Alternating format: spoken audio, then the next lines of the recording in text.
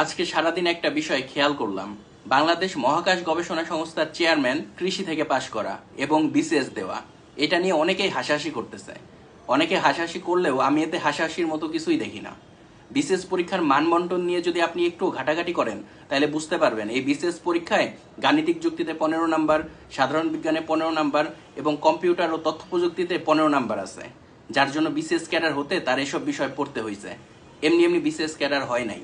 সুতরাং এসব চাঁদফাদ নিয়ে এই জ্ঞান তার অনেক আগে থেকেই আছে। এত হাসাহাসি করার কিছু নাই। আর তাছাড়া টাকা নষ্ট করে চাঁদে যাওয়ার জন্য আপনারা এত হুড়াহুড়ি লাগাইছেন কেন? ভারত গেছে, ওরা ঘুরে আসুক, তখন ওদের সাথে শান্তিতে বসে আমরা চাঁদে কি কি আছে, কোথায় কি দেখছে, সেসব শুনে নিব। তাহলেই তো হয়। যে জিনিস প্রত্যেকদিন আকাশে তাকাইলেই দেখা যায়, সেটা দেখতে যাওয়ার জন্য আটশো কোটি টাকা খরচ করার কোনো দরকার আছে?